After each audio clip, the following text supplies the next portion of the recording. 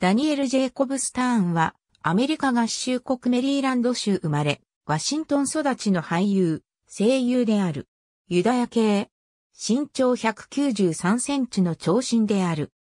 もともとは映画にそれほど興味はなかったが、音楽好きで、高校時代に屋根の上のバイオリン弾きの学生劇に出演する。高校を卒業した後は、ニューヨークへ渡り、演技を学ぶ。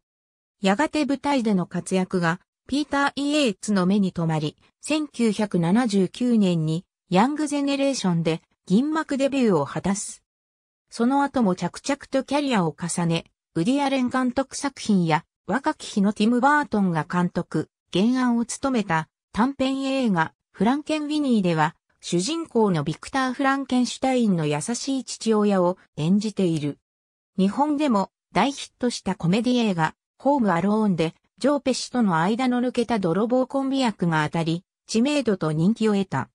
近年では、キャメロン・ディアスとクリスチャン・スレーター主演のブラックコメディ、ベリー・バッド・ウェディングで、情緒不安定に陥っていく男をコミカルに演じ、印象を残した。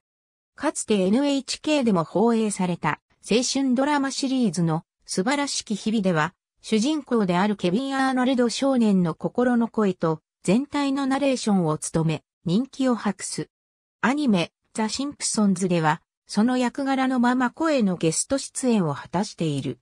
ちなみに、弟のデイビッド・エム・スターンは、同アニメシリーズに数エピソード脚本家として参加している。また、頑張れ。ルーキー。では監督業にも進出した。ありがとうございます。